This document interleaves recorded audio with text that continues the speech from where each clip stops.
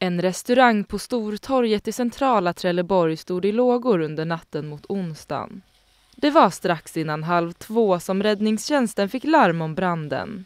Elden spred sig snabbt och inom kort var lokalen övertänd. Enligt räddningstjänsten kommer det bli svårt att rädda byggnaden. Nu uppmanar man boende i området att hålla sig inomhus och stänga dörrar, fönster och ventilation.